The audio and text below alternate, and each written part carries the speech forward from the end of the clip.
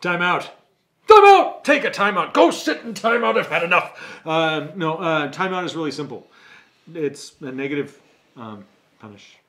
No, no, no, no, no. Oh my gosh, did I just say negative punishment? Oh no. It is. I just had to mess with you a little bit. Anyway, no, timeout, negative punishment, right? Um, it's the loss of a stimulus in order to reduce behavior. What's the stimulus that you're losing?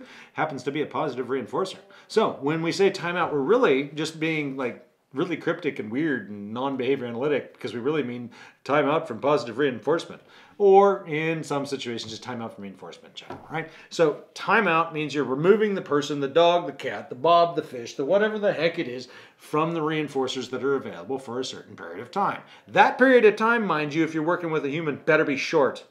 We use a rule of thumb, one minute per year of age. So if you're putting a kiddo into timeout for 30 minutes, y'all got a problem and you're doing it wrong. All right. So again, there's a lot of rules that you can establish with timeout, but timeout's simple. We're going to remove you to a situation where that does not produce any reinforcing effects temporarily, contingent upon an inappropriate behavior. Then, to make timeout actually effective, here's the key, folks. This is the really important part because everybody does timeout. Everybody says it doesn't work. Timeout sucks. It doesn't work. Just talk to any parent; they'll tell you it does if you make time in reinforcing.